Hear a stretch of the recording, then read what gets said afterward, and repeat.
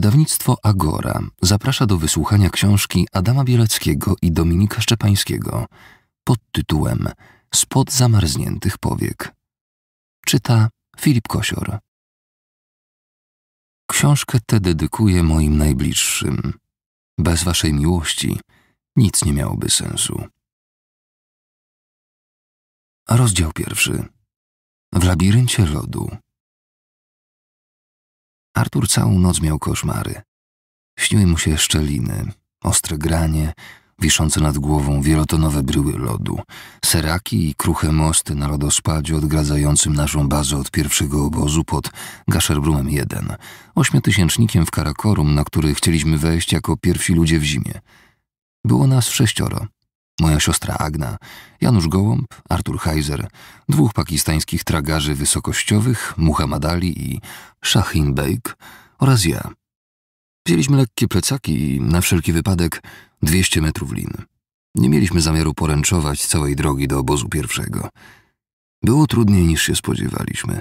Musieliśmy się związać liną i cały czas zachowywać czujność. Szliśmy i traciliśmy nadzieję na dojście do obozu. Jak odnaleźć drogę? Jak ją potem wielokrotnie powtórzyć? Bo przecież, żeby zdobyć taką górę, musieliśmy założyć kolejne obozy, zaopatrzyć je i dopiero wtedy zaatakować wierzchołek. Wydawało się, że ten przeklęty lodowiec nigdy się nie skończy. Wędrówka przez niego nie miała w sobie nic z subtelności. Wszystkie chwyty dozwolone, byle jak najszybciej i bezpiecznie przejść przez zamarznięty labirynt. Wyciągnąłem kamerę. Nie filmuj tego, bo dostaniesz złote jajo, powiedział Artur, mając na myśli żartobliwą nagrodę za największy górski przypał, a potem niezgrabnie zjechał na tyłku z lodowej bryły. Na Madagaskar z tą kamerą. Po wyprawie napisał, że wolałby złamać sobie nogę, niż jeszcze raz przechodzić przez ten lodospad. Długi na sześć kilometrów lodowiec sprawił nam więcej kłopotów niż myśleliśmy. Na wysokości 5700 metrów nad poziomem morza, zamiast śnieżnego płaskowyżu, który doprowadziłby nas w miejsce, gdzie miał stanąć obóz pierwszy, ujrzeliśmy lodowe gruzowisko. Wcześniej słyszałem, że w lecie po tym lodowcu można chodzić bez wiązania się liną. Po tym, co zobaczyliśmy, zrozumieliśmy, że nie ma na to szans. Stamtąd zawróciliśmy. Może to dobrze, że wówczas nie wiedzieliśmy, ile tak naprawdę przeszliśmy. Wydawało się nam, że większość drogi do obozu pierwszego, czyli jedynki. Później się okazało, że byliśmy zaledwie w jednej trzeciej. To był trzeci dzień wyprawy i pierwszy akcji górskiej. Pierwsze starcie z Gasherbrumem 1 i od razu porażka. Do zmroku zostało kilka godzin. Zmęczyły nas ciągłe napięcie i strach. Zagrożenie było wszechobecne. Mogło przyjść z góry w postaci lawiny bądź urwanego kawałka jednej z licznych lodowych wież, między którymi lawirowaliśmy. Mogło też przyjść z dołu, w postaci zarwanego mostu śnieżnego bądź ukrytej pod śniegiem szczeliny. Drogę oznaczyliśmy pięćdziesięcioma traserami, żeby drugi raz nie błądzić w zwałach lodu. Ale lodowiec cały czas się zmieniał i podczas pięciu wyjść w górę Nigdy nie udało nam się iść tak samo. Na początek Gasher Brum dał nam w twarz. Dostaliśmy niezłą lekcję pokory. Jadąc w 2011 roku na Gasher Brum 1, myślałem, że potrafię wyobrazić sobie warunki, w których będę działał. Byłem przecież na Makalu, piątym ośmiotysięczniku świata. Byłem na Hantengri, najdalej na północ wysuniętym siedmiotysięczniku. Wspinałem się zimą w Tatrach i Alpach, ale to, co przeżyłem w Karakorum, okazało się nieludzkie. W Polsce 20 stopni mrozu w zimie nie jest niczym szczególnym. Potrafimy sobie wyobrazić, co znaczy minus 40. Jest po prostu dwa razy zimniej. Ale minus 60? To wartość abstrakcyjna. Brakuje nam punktu odniesienia, aby uzmysłowić sobie, co oznacza takie zimno. Dla Himalajstów szczególnie ważny jest wykres temperatury odczuwalnej, która wynika ze stosunku prędkości wiatru do temperatury powietrza. Jeśli w górze jest 35 stopni mrozu, a wiatr wieje z prędkością 30 km na godzinę, to twoje ciało czuje, jakby było 60 stopni poniżej zera. Odmrożenia na odsłoniętej skórze pojawiają się wtedy w mniej niż pół minuty. Na lodospadzie było znacznie cieplej, ale i tak za każdym razem, gdy ściągaliśmy rękawiczki, musieliśmy zachować czujność, aby się nie odmrozić. 25 stycznia, po słabo przespanej nocy, trzeba było zdecydować, co dalej. Heiser chciał najpierw sprawdzić, co myślimy. Musimy założyć jedynkę. Jakieś pomysły? Spytał. To może ja pójdę, wypaliłem. Chciałem się wykazać. Z naszej trójki byłem najmniej doświadczony. Artur Heiser, kierownik wyprawy, miał 49 lat i siedem ośmiotysięczników na koncie. Na trzy z nich wszedł nowymi drogami, a na Annapurnie z Jerzym Kukuczką byli pierwszymi ludźmi w zimie. O pięć lat młodszy Janusz Gołąb w ciągu kilkunastu lat przeszedł wiele trudnych dróg na wielkich ścianach.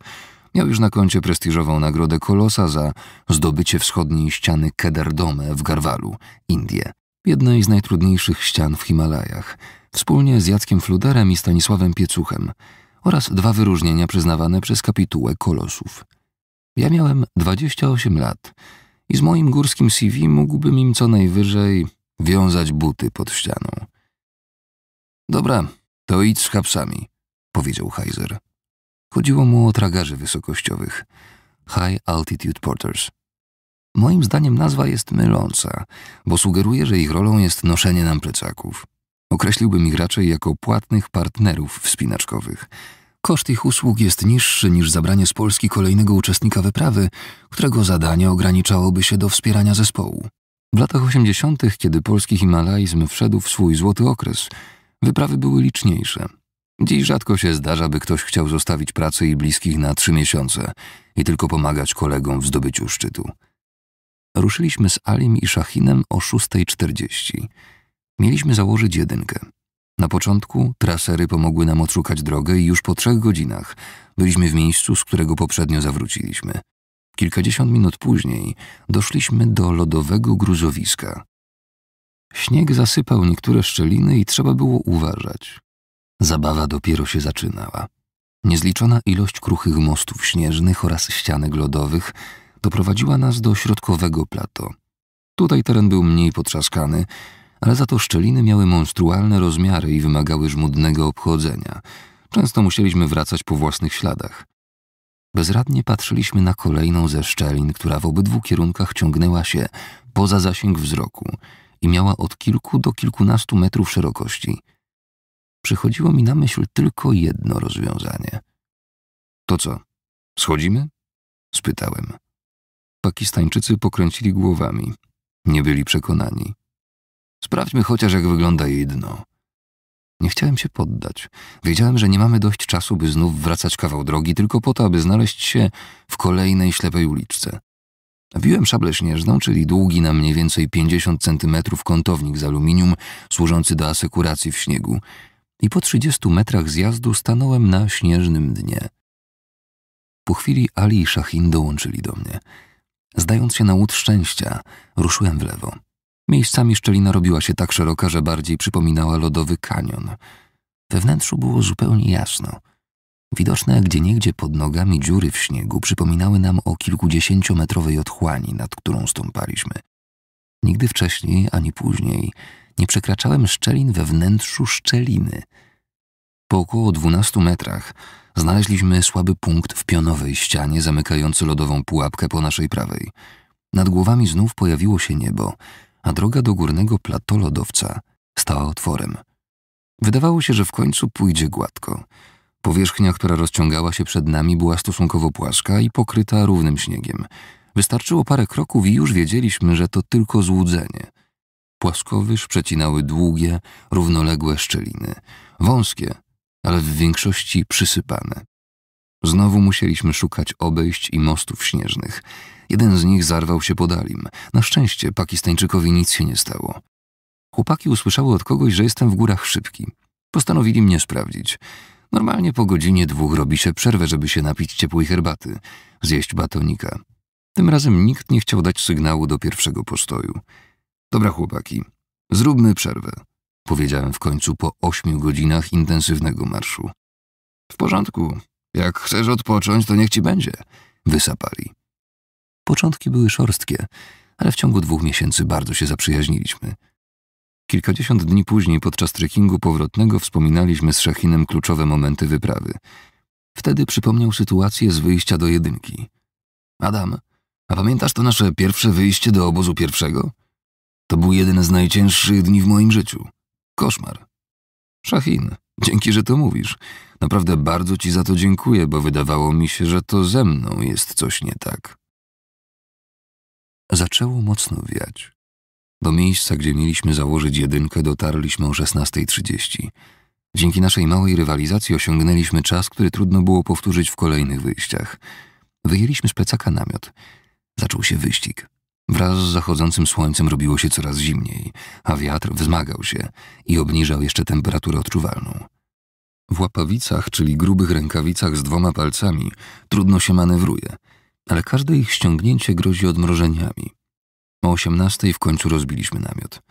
Zmęczeni opatuliliśmy się śpiworami. Wykonaliśmy kawał dobrej, nikomu niepotrzebnej roboty. Himalajzm nie ma w sobie niczego, co by czyniło nas wyjątkowymi. Niby wymyślamy i testujemy patenty odzieżowe, a one potem się upowszechniają. Jednym z pierwszych zastosowań membrany goreteksowej była produkcja kombinezonów dla astronautów, a teraz wszędzie można kupić goreteksowe buty. Ale to przykład na siłę. Nie uważam, żeby himalajzm miał jakiś głęboki sens. Tak samo nie ma go żeglarstwo czy chodzenie do parku. Życie samo w sobie nie ma głębokiego sensu. Moim wyborem jest himalajzm i zupełnie nie ma we mnie potrzeby przekonywania całego świata, że to bardzo fajne zajęcie. Artur, droga jest długa. Dostaliśmy w kość. Nie wiem, czy jutro uda wam się dojść do jedynki, bo myśmy ostro zasuwali. Może na wszelki wypadek weźcie ze sobą lekki namiot szturmowy i przygotujcie się na biwak. Powiedziałem wieczorem przez radio. Artur prychnął urażony. Jak to mają nie dojść? Przecież trasa jest wytyczona i będzie przedeptana. Noc była spokojna. Rano wróciliśmy do bazy. Śnieg zasypał część naszych śladów, ale pomógł nam GPS. Po jedenastej spotkaliśmy Janusza i Artura, którzy szli w górę z ciężkimi plecakami. Następnego dnia chcieli zrobić rekonesans w kierunku obozu drugiego. Zdobywanie góry w stylu wyprawowym to właśnie taka wahadłowa praca.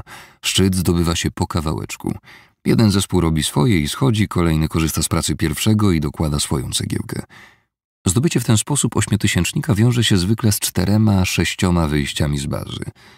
Pod górę przybywa zespół wspinaczy, którego celem jest założenie kolejnych obozów, zaopatrzenie ich, zabezpieczenie drogi pomiędzy nimi stałymi linami, tak zwanymi poręczówkami. Oczywiście trwa to odpowiednio długo i wymaga dużej ilości sprzętu, dlatego styl wyprawowy bywa również nazywany oblężniczym lub ciężkim. Trzy godziny po spotkaniu Artura i Janusza byliśmy w bazie. Artur połączył się z nami. Nie mogli znaleźć drogi do obozu pierwszego. Na górnym plateau ślady naszych raków to pojawiały się, to gubiły w twardym śniegu. Mieliśmy zbyt mało tyczek, żeby wystarczająco dokładnie oznaczyć całą trasę. O szesnastej dotarło do nich, że robi się poważnie. Dzień się kończył, a obozu nie było widać. Nie mieli nawet pewności, że idą dobrze, bo nie potrafili obsługiwać GPS-a, którego kupiłem tuż przed wyjazdem. To był nowy model i chłopakom zabrakło czasu, by go przetestować. O siedemnastej urządzenie wskazało, że obóz jest blisko.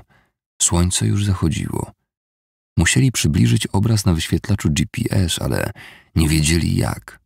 Ja robiłem to na pamięć, więc bez urządzenia przed sobą trudno było mi udzielić wskazówek.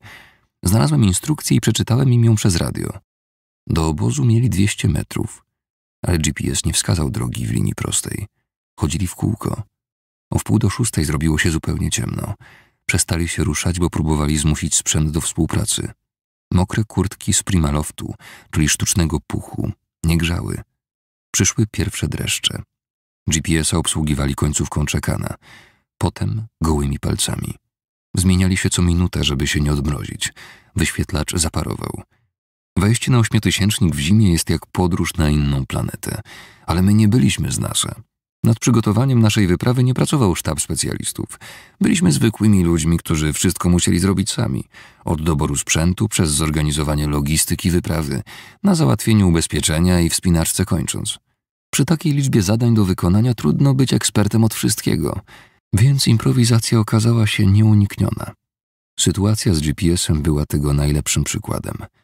Janusz przekonywał Artura, że skoro mają żarcie i trochę gazu, to jakoś wykopią jamę śnieżną i przetrzymają noc ale Heiser nie dawał za wygraną. W końcu, słuchając moich instrukcji, znalazł odpowiednią kombinację przycisków. Obóz był 48 metrów od nich. Jest, widzę, po prawej, ucieszył się Janusz. Połączyli się z bazą o 19.20. Wcześniej musieli rozstawić wyniesiony przez nas namiot, bo w zimie jest taka zasada, że nigdy nie zostawia się go rozbitego. Wiatr porwałby go bardzo szybko. Byłem dobrej myśli. Pokonaliśmy pierwszą przeszkodę i założyliśmy jedynkę. W końcu mieliśmy zacząć piąć się w górę. Rozdział drugi. Szczenięce lata. Być może to dziadek podrzucił mi książkę, z której dowiedziałem się o Arturze. Mieszkał z babcią we Wrocławiu i był lokalnym podróżnikiem. Miał grupę inwalidzką, więc jeździł pociągami za darmo, pod warunkiem, że towarzyszył mu opiekun, niekoniecznie pełnoletni. Kiedy odwiedzałem go w wakacje, czasami wsiadaliśmy do pociągu i wysiadaliśmy byle gdzie. Spacerowaliśmy i wracaliśmy. Dziadek interesował się geografią oraz przyrodą. Podpowiadał mi lektury, wymyślał różne quizy. Co to za zwierzę? Magura? A rzeka? Dzięki niemu szybko poznałem nazwy państw, ich flagi, stolice i najwyższe szczyty. Potem sam zacząłem sięgać po książki. W domowej bibliotece znalazłem serię o Azji. Był tam tom o górach. Uwielbiałem tę książkę, chociaż dzisiaj wiem, że zawierała dużo błędów. Miała piękne, malowane akwarelami ilustracje. Wpatrywałem się w ludzi, którzy wspinali się w śniegach ośmiotysięczników. Rozpalali moją wyobraźnię.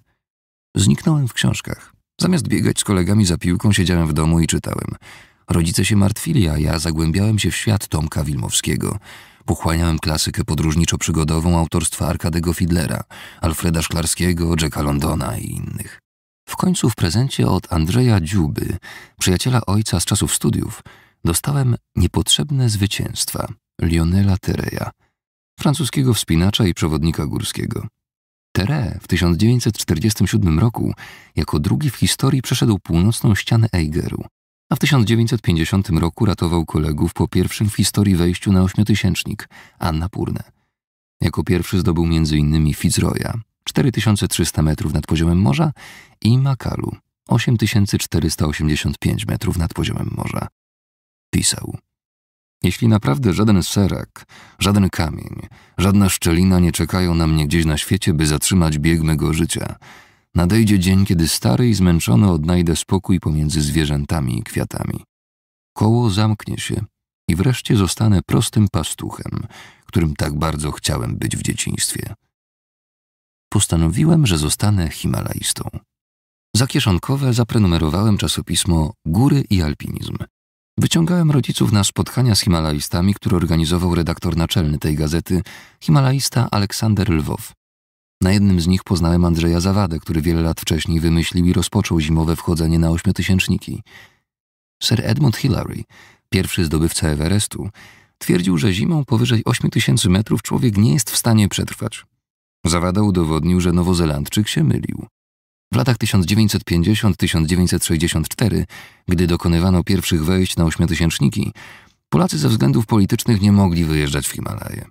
Gdy w latach 70. wyjazdy zagraniczne znowu stały się możliwe, Zawada zrozumiał, że naszą szansą na zapisanie się w historii eksploracji ośmiotysięczników jest powtórzenie mechanizmu znanego z niższych gór, gdzie najpierw robi się pierwsze przejścia, a potem próbuje się powtórzyć je w zimie.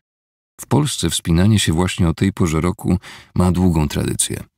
Tatry nabierają zimą prawdziwie alpejskiego charakteru, a w naszym środowisku wspinaczkowym od zawsze popularne było powiedzenie: A kto to zrobił zimą?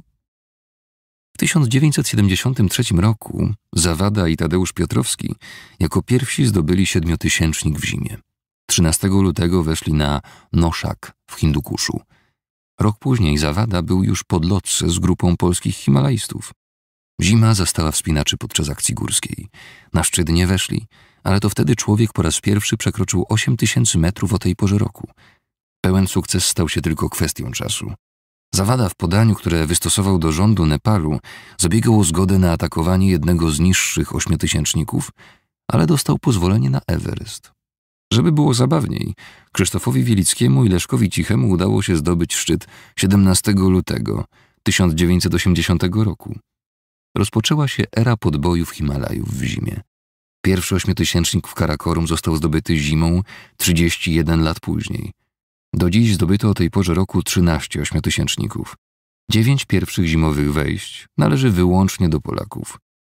Dziesiątą górę, Shisha Pangme, zdobyli w 2005 roku Piotr Morawski i Włoch Simone Moro – Miałem może 11 lat, gdy w schronisku Strzecha Akademicka zjedliśmy z Andrzejem Zawadą na śniadanie naleśniki z jagodami. Dostałem od niego beret. Nosiłem wtedy długie włosy i wyglądałem jak dziewczynka. Innym razem wyciągnąłem rodziców na prelekcję Krzysztofa Wielickiego, piątego człowieka, który zdobył wszystkie ośmiotysięczniki. Nie pamiętam, w którym roku miało miejsce to wejście, mówił Wielicki. A ja pamiętam, suflowałem mu. Fascynowała mnie historia alpinizmu. Znałem na pamięć dziesiątki nazwisk i dat, więcej niż teraz. W rodzinie nikt się nie wspinał, ale rodzice byli wytrawnymi turystami. Rowerami zjeździli Polskę wzdłuż i wszerz. Od małego zabierali mnie i siostrę w Beskidy, a potem w Tatry. Zawsze mieliśmy porządne buty za kostkę, dobrze wyposażony plecak i termos z herbatą. Nauka nigdy nie sprawiała mi problemów, ale często lądowałem na dywaniku u Artura Badei, pedagoga szkoły podstawowej numer jeden w Tychach, skąd pochodzę. Za dużo pyskowałem. Kiedy wchodziłem do jego gabinetu, to przez dwie minuty pouczał mnie o tym, że w życiu trzeba iść na kompromisy, a kolejne pół godziny rozmawialiśmy o książkach, które mi pożyczał. Wiele z nich było o górach. Jeździłem na organizowane przez niego rajdy turystyczne, a potem zacząłem samodzielnie bądź z jednym z kolegów z klasy wyjeżdżać w Beskidy. Najpierw na jeden dzień, a później na całe weekendy. W końcu znalazłem w książce telefonicznej numer do klubu wysokogórskiego w Katowicach. Dzień dobry, nazywam się Adam Bielecki i chciałbym nauczyć cię wspinać. A ile ty masz lat, chłopczyku? Trzynaście. Żeby zacząć się wspinać, trzeba najpierw pójść na kurs skałkowy. Zapraszamy do nas, ale dopiero jak skończysz 15 lat i przyniesiesz zgodę obojga rodziców. Odłożyłem słuchawkę. Cholera jasna, pomyślałem. Trzeba to będzie załatwić jakoś inaczej. Rozwiązanie przyszło niedługo później. W szóstej klasie dostałem ocenę celującą z biologii za pracę o wpływie wysokości na organizm człowieka. Moja nauczycielka Marzena Gąsior zapytała skąd takie zainteresowanie i przy okazji wygadała się, że sama się wspina i organizuje wyjazdy w skałki dla licealistów. Proszę mnie wziąć ze sobą. Adam, jesteś za mały. Wróciłem do domu i zacząłem prosić rodziców. Napiszcie mi zgodę, bo chcę pojechać z panią Marzeną w skałki. Martwili się o mnie, bo przecież mało wychodziłem z domu. Nie chcieli, żebym był dziwakiem, który nie ma kolegów. Zgodzili się. Co dwa, trzy tygodnie jeździliśmy do Rzędkowic, Mirowa, Ryczowa. Oszalałem na punkcie wspinania. Kupiłem sobie najtańsze buty do gry w piłkę i obciąłem w nich przednie gumowe korki. Kupiłem też swoją pierwszą używaną uprząż uszytą z pasów samochodowych, a na urodziny dostałem dwa karabinki zakręcane z ósemką.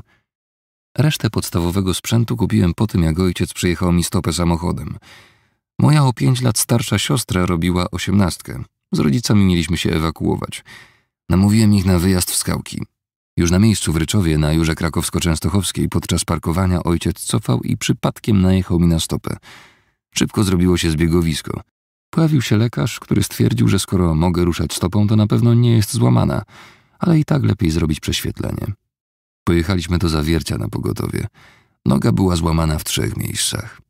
Wróciliśmy do domu. Ktoś krzyczał z balkonu: Bielecka, twoi starzy jadą. Ojciec zadzwonił domofonem. Aga, weź dwóch silnych chłopów. A tam krzyki. O, pewnie wódkę przywieźli. Wnieśli mnie na górę.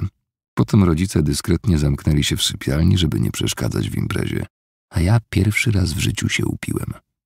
Na początku byłem w centrum zainteresowania, ale później wszyscy zajęli się swoimi sprawami, więc samotnie siedziałem w kącie i sączyłem słodki soczek z owocami, który okazał się ponczem. Noga wydobrzała, a ja zacząłem regularnie jeździć w skałki. Za odszkodowanie kupiłem swoją pierwszą linę. Nie znosiłem szkoły. Czułem, że szybko dojrzewam. Nie dogadywałem się z kolegami. Przeciętnie grałem w piłkę, byłem wygadany i bezczelny, ale nie umiałem się bić. Ostatnie klasy podstawówki były dla mnie męczarnią. Chciałem już iść do liceum, zacząć wszystko od nowa. W końcu drugi raz zadzwoniłem do klubu wysokogórskiego w Katowicach. Dzień dobry, tu Adam Bielecki. Już umiem się wspinać w skałkach, ale chciałem się nauczyć wspinać w górach. Mam 15 lat, dodałem z dumą. To świetnie, chłopcze. Ale żeby wspinać się w Tatrach, trzeba zrobić kurs skałkowy, a potem taternicki. A żeby zrobić taternicki, musisz mieć 16 lat. Cholera jasna. Załamany rzuciłem słuchawką. Miałem dość. Chciałem, żeby ktoś nauczył mnie wspinaczki, ale dwa razy odbiłem się od ściany. Gdy dziś pytają mnie, jak zacząć się wspinać, to mówię, że trzeba iść do klubu wysokogórskiego, zapisać się na kurs skałkowy, a potem taternicki. Tam można nauczyć się zasad bezpiecznej wspinaczki i przy okazji poznać partnerów do wyjazdów, czyli zrobić to całkiem inaczej niż ja. Uczyłem się wspinania na własnych błędach. Zacząłem wcześnie, a kiedy dorastałem, kluby przeżywały zapaść. Nikt nie brał młodych na wyjazdy, nie było komu nas szkolić. Ze złotego pokolenia polskich himalaistów, którzy podbijali najwyższe góry świata w latach osiemdziesiątych, już prawie nikt nie został. Albo zginęli w górach, albo wzięli się do robienia biznesów. Z pomocą przyszedł mi Robert Rozmus. Nie ten aktor, tylko brat mojej koleżanki z liceumanii. Dowiedziałem się od niej, że zdobył Mont Blanc, a w dodatku żyje z prowadzenia klientów w góry. Zacząłem być częstym gościem w ich domu. W końcu Robert zaproponował mi wspólny wyjazd w Tatry. Doświadczony wspinacz chciał, żebym ja, piętnastolatek, został jego partnerem. Byłem w niebo wzięty. Pojechaliśmy i prawie się wtedy zabiłem. Na miejscu okazało się, że Robert może bywał w skałkach, może i wszedł na Mont Blanc, ale o wspinaczce w górach wiemy tyle samo. Czyli niewiele. Przed wyjazdem kupiłem przewodnik taternicki dla początkujących Andrzeja Skłodowskiego i Marka Wołoszyńskiego. Znaleźliśmy w nim schemat czwórkowej drogi na buczynowych turniach. Czwórka oznacza tu stopień trudności.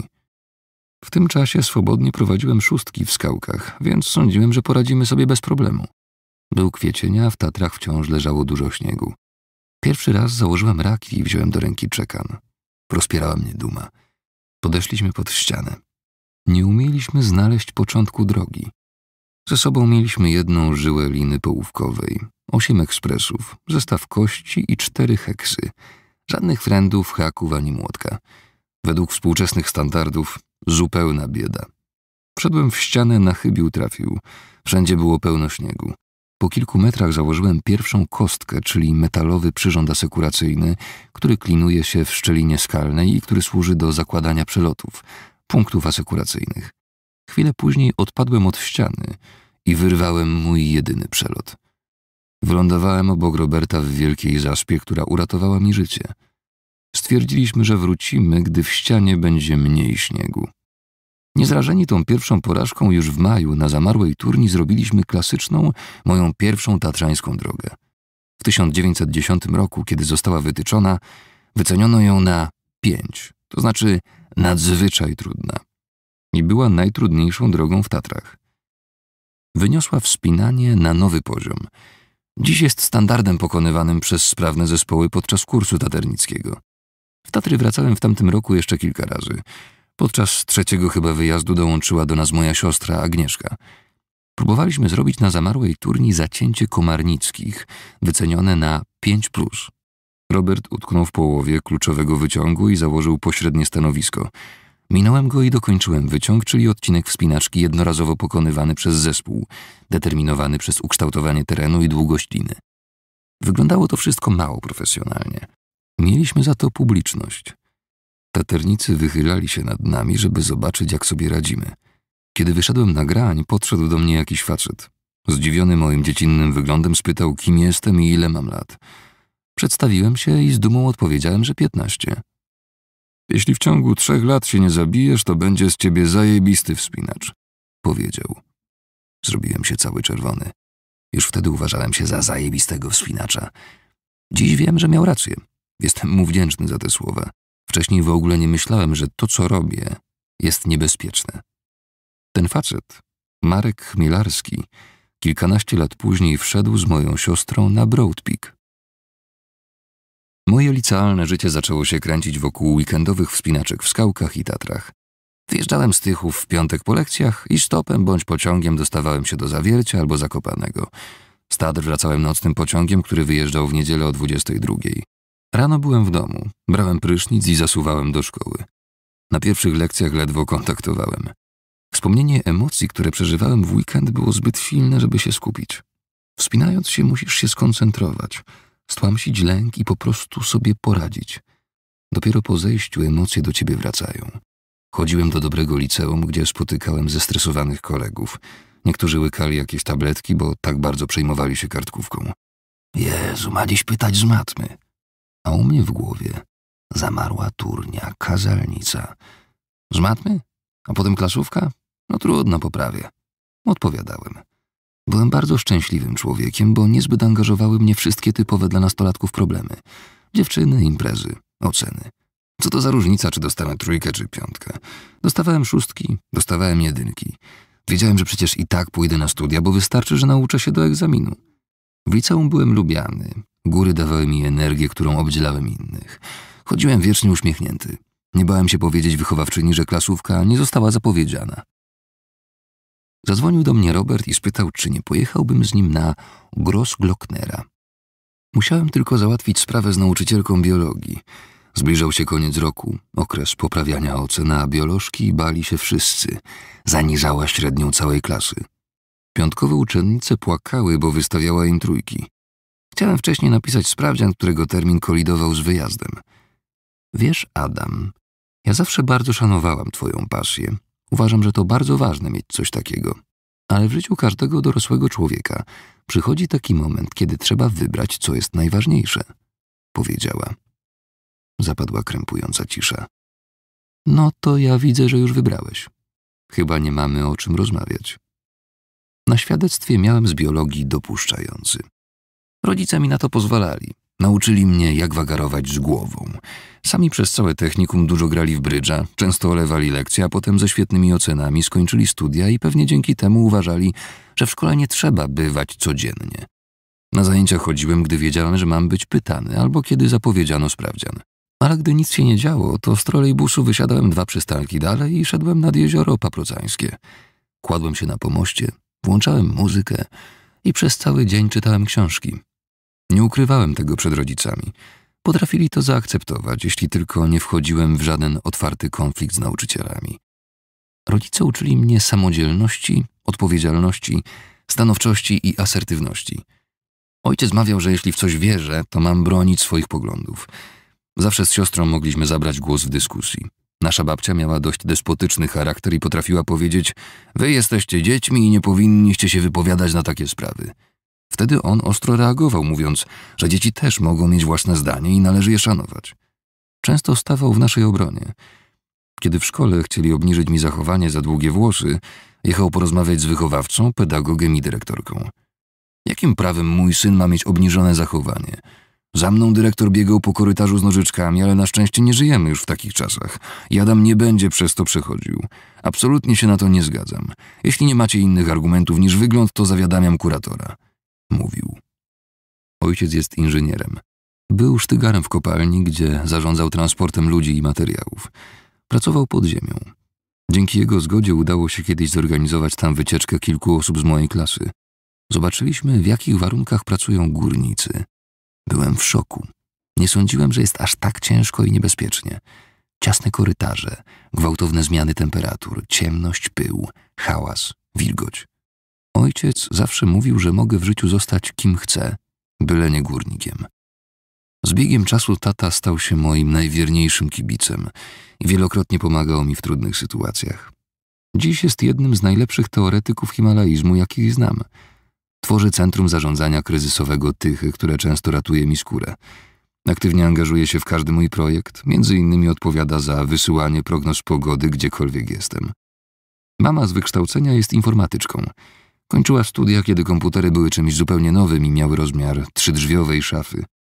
Od zawsze zdradzała niezwykły talent do matematyki. W wakacje dla przyjemności rozwiązywała zadania na szóstkę przewidziane na następny rok szkolny. Jej ukochaną grą jest brydż, który stał się naszym rodzinnym hobby. Mama jest towarzyska. Żeby pracować z ludźmi, a nie z maszynami, przekwalifikowała się i zaczęła sprzedawać ubezpieczenia. Zawsze się o mnie bała. Do dziś nie lubi słuchać o niebezpiecznych przygodach w górach, ale mimo obaw zawsze zgadzała się na moje wyjazdy. Na początku rodzice nie zdawali sobie sprawy, jak ważna jest dla mnie wspinaczka i jak poważne są cele, które zamierzam zrealizować. W okresie dorastania miałem jednak dużo swobody. Rodzice duży nacisk kładli na odpowiedzialność za to, co robimy. Mogliśmy dużo, ale nie ratowali nas przed konsekwencjami. Gdy zbiłem w szkole szybę, to zapłacili za nową ale przez cztery miesiące potrącali mi połowę kieszonkowego. Mogłem chodzić na wagary, ale nie pisali mi usprawiedliwień. Miało to swoje plusy, ale bywało też denerwujące. Kiedy wracałem z kolonii, to czasami musiałem sam wsiąść w autobus i dojechać do domu. W wieku ośmiu lat samodzielnie jeździłem pociągiem do babci na wakacje. Po pierwszym tatrzańskim sezonie przyszedł czas na Alpy. Wiedziałem, że w Himalaje prowadzi ustalona droga.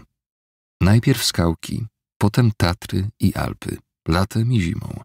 Następnie wyższe góry, Kaukaz i Pamir albo Tien Shan. Z drugą siostrą Roberta, Agnieszką, pojechaliśmy stopem z plecakami wyładowanymi sprzętem i jedzeniem do Cermat w Szwajcarii. Robert miał dojechać 10 dni później. Naszym pierwszym celem był Cinalrotorn, 4221 metrów nad poziomem morza, szczyt w Alpach Penińskich. Pierwszy dzień podejścia do schroniska dał nam nieźle w kość. Drugiego dnia przed świtem ruszyliśmy do szczytu. Agnieszka słabo znosiła brak aklimatyzacji i po trzech godzinach musieliśmy zawrócić. Prawie płakałem z rozczarowania, tym bardziej, że odmówiła kolejnej próby następnego dnia. Po zejściu do doliny wymyśliłem, że spróbuję wejść na Duforszpice, 4634 metry nad poziomem morza, drugi najwyższy szczyt Alp. Nie stać mnie było na kolejkę, więc znowu musiałem podejść z całym sprzętem biwakowym do schroniska Monterosa Hütte. Namiot rozbiłem kilkaset metrów za budynkiem. To był rok 1999. Czasy, kiedy wspinaczy z Europy Wschodniej dało się jeszcze łatwo rozpoznać. Mieliśmy gorszy sprzęt, spaliśmy w namiotach i nosiliśmy wielkie plecaki. Nie było nas stać na schroniska. Dwie noce pożarłyby pewnie budżet całego wyjazdu. Pamiętam z jakim zdumieniem patrzyłem wtedy na małe plecaczki, z którymi na kilka dni wyruszali w góry lokalni wspinacze. Co ciekawe, dzisiaj jest wręcz odwrotnie. Polacy spotykani w Alpach mają prawie zawsze najlepszy możliwy sprzęt i od stóp do głów ubrani są w markowe ciuchy. Wieczorem poszedłem szukać partnerów. Bezskutecznie. Wcale się nie dziwię, że nikt nie chciał wziąć do zespołu przypadkowej osoby. Dopiero miałem gwałtownie urosnąć, ale na razie byłem raczej wątłym szesnastolatkiem. Postanowiłem spróbować wejść na szczyt solo. O drugiej w nocy dołączyłem do sznurka ludzi idących w kierunku wierzchołka. Po początkowym skalnym odcinku droga wchodziła na lodowiec pełen szczelin. Poza mną wszyscy byli związani liną. Kiedy przechodziłem przez jeden z kolejnych mostów śnieżnych, straciłem grunt pod nogami. Dopiero kilka sekund później, gdy leżałem na krawędzi szczeliny, uświadomiłem sobie, co się tak naprawdę przed chwilą wydarzyło. Fragment mostu zarwał się pod moim ciężarem, a ja zawisłem na samych rękach, opartych o krawędź dziury, w której dyndały swobodnie moje nogi. Rozpaczliwie próbowałem znaleźć jakiś punkt poparcia. Ból wykręconych wtedy barków czułem jeszcze przez kilka lat.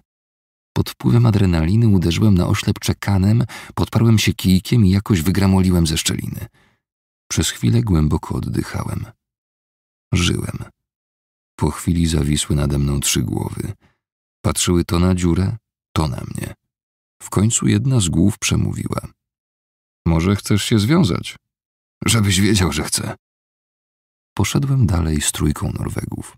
Byłem jednocześnie przestraszony i zachwycony, bo szliśmy na lotnej asekuracji, to znaczy związani liną poruszaliśmy się jednocześnie po mocno eksponowanej grani. Duże wrażenie robił na mnie widok morza szczytów, które nas otaczało. Na wąskiej grani, która wiodła z przełęczy Zilberzatel do szczytu, zrobił się korek. W dodatku zaczęła się psuć pogoda. Moi towarzysze chcieli zawracać, a ja czułem, że idąc na doczepkę raczej nie mam tu nic do gadania. Nie chciałem też odłączać się od zespołu. Z bólem serca zawróciłem razem z nimi. Przybity kolejną porażką leżałem przed namiotem, kiedy obok zaczęła się rozbijać grupka Czechów. Byłeś może na szczycie? spytali. Opowiedziałem historię mojego odwrotu, nieudolnie próbując ukryć rozczarowanie tym, że nie udało mi się wejść na wierzchołek. Wypytali mnie o trasę i warunki u góry. Fajnie nam się rozmawiało. Słuchaj, może chcesz jutro do nas dołączyć? Wiecie co, jestem po dwunastogodzinnej akcji górskiej. Wstałem o drugiej w nocy, wróciłem godzinę temu. Nie wiem, czy dam radę za wami nadążyć. A o której chcecie wyjść? No, o drugiej. Zostało ci parę godzin na regenerację. A nie wiem, czy... No dobra, idę z wami. Czesi mieli wszystko gdzieś. Poza początkowym etapem na lodowcu w ogóle się nie asekurowali. Chłopaki, może byśmy się związali? Spytałem w końcu. E, co ty, przecież jest przedeptane.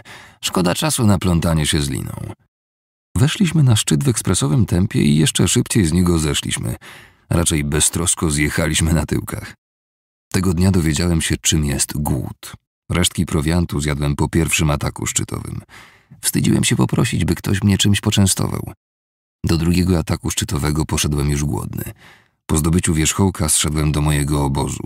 Przespałem się i ruszyłem w dół.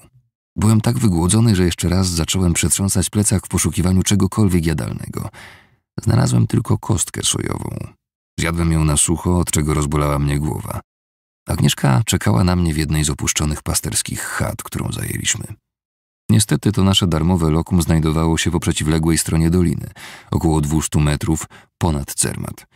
Znów trzeba było podchodzić. Ledwo żywy, ale za to bardzo szczęśliwy, dotarłem w końcu na miejsce i ciężko zwaliłem się na trawę. Centralnie w krowi placek. Potem zacząłem jeść, co popadło: konserwę rybną, ciastka i chleb. Po chwili wszystko zwróciłem. W tym samym czasie Robert Rozmus od dwóch miesięcy mieszkał w Szamonii na boisku do gry w bóle. Koczował tam w oczekiwaniu na kolejne grupy z Polski. Wprowadzał klientów na Mont Blanc i całkiem nieźle mu to szło. Zresztą dziś jego Anna Purna Klub jest jedną z większych polskich firm organizujących wyjazdy partnerskie. W krajach alpejskich przewodnictwo górskie ma długą tradycję. U nas góry, nawet te łatwe technicznie, przez wiele lat dostępne były tylko dla hermetycznego środowiska wykwalifikowanych wspinaczy. W latach 90. pojawiła się w Polsce nowa grupa tzw. Tak turystów wysokogórskich. To ludzie, którzy rozpoczęli swoją przygodę z górami od turystyki pieszej, ale wraz z otwarciem granic zapragnęli zdobywać coraz wyższe szczyty. Łatwe technicznie, ale często wysokie, jak na przykład Mont Blanc, Elbrus, Kilimandżaro, Aconcagua, a nawet Mont Everest. Polski Związek Alpinizmu nie miał dla nich żadnej oferty. Tę lukę wypełnił unikalny na skalę światową twór wyjazdy partnerskie. Jako pierwsi w kraju organizowali je m.in. Ryszard Pawłowski i właśnie Robert Rozmus. Dziś takich firm są dziesiątki. Ich oferty często bardzo się od siebie różnią. Od wyjazdów organizowanych przez kompletnych amatorów, którzy odpowiadają tylko za logistykę wyprawy i wymagają od klientów pełnej samodzielności w górach, po takie, podczas których kompetentny i doświadczony wspinacz pełni de facto funkcję przewodnika. Co roku więcej ludzi bierze udział w wyjazdach partnerskich niż jest zrzeszonych w PZA. Działalność takich firm zrodziła krytykę ze strony profesjonalnych wspinaczy. Przede wszystkim tych, którzy odpowiadając na zapotrzebowanie rynku, zaczęli wprowadzać standardy znane z krajów alpejskich. IVBV, UIAGM i FMGA. To organizacja skupiająca przewodników, którzy po latach wymagających szkoleń uzyskują uprawnienia do prowadzenia ludzi w górach całego świata. Certyfikat, który otrzymują, to gwarancja kompetencji, ale cena ich usług jest też odpowiednio wysoka. W tej chwili w Polsce takich przewodników jest około 30. Ta liczba nawet w najmniejszym stopniu nie zaspokaja potrzeb rynku. Pomimo kontrowersji wzbudzanych przez wyjazdy partnerskie, to bez wątpienia dzięki nim tysiące ludzi mogą się cieszyć górami, w które samotnie nigdy by nie dotarli. 6 grudnia 2016 roku Janusz Kochański w najkrótszym czasie spośród Polaków skompletował szczyty składające się na koronę Ziemi. Dokonał tego w 11 miesięcy w ramach wyjazdów partnerskich zorganizowanych przez Anna Purna Klub. Trzeba mieć świadomość, że nikt nie jest w stanie zagwarantować nam pełnego bezpieczeństwa, ani kierujący wyjazdem partnerskim, ani licencjonowany przewodnik IVBV. Niestety, wypadki zdarzają się i jednym, i drugim. Tamtego pierwszego sezonu w Alpach Robert Rozmus dojechał do nas kilka dni po moim wejściu na Duforspitze. Planowaliśmy wejście na Matterhorn. Chciał rozpoznać teren, bo za kilka dni mieli się zjawić jego klienci. Całkiem sprawnie dotarliśmy wtedy na wierzchołek, ale podczas zejścia zatrzymaliśmy się w Solwaju. Choć dziś wiem, że jeśli nie potrafisz wejść i zejść z Matterhornu w jeden dzień, to widocznie nie jesteś jeszcze gotowy na ten szczyt. Solvay nie jest normalnym schroniskiem. To znajdujący się na czterech tysiącach metrów schron biwakowy, koło ratunkowe w przypadku załamania pogody albo innych kłopotów. Spod Matterhornu przenieśliśmy się w masyw Mont Blanc, gdzie Robert wprowadził na najwyższy szczyt Europy kolejną komercyjną grupę. Ja na wierzchołek wspinałem się razem z moim tatą. To wtedy pierwszy raz wcieliłem się w rolę prowadzącego dla osoby mniej doświadczonej. Bardzo mi to odpowiadało i wkrótce zacząłem współpracować z Robertem. Najpierw razem z nim, a później samodzielnie prowadząc wyjazdy. Nie zdawałem sobie sprawy, że w przyszłości może spotkać mnie za to ostracyzm środowiska wspinaczkowego – dla mnie to po prostu była szansa na bycie w górach. Mogłem podróżować po świecie, robić to, co kocham i jeszcze ktoś mi za to płacił. Po alpejskich przygodach wróciłem w Tatry. Pewnego dnia zrobiłem już dwie drogi wspinaczkowe. Jedną z Agnieszką Rozmus na zadnim michu i jedną solo na cubrynie. Ale ciągle było mi mało.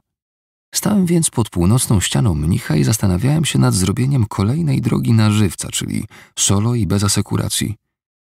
Wtedy zobaczyłem, że na kancie klasycznym dzieje się coś dziwnego. Trzech wspinaczy ewidentnie sobie nie radziło.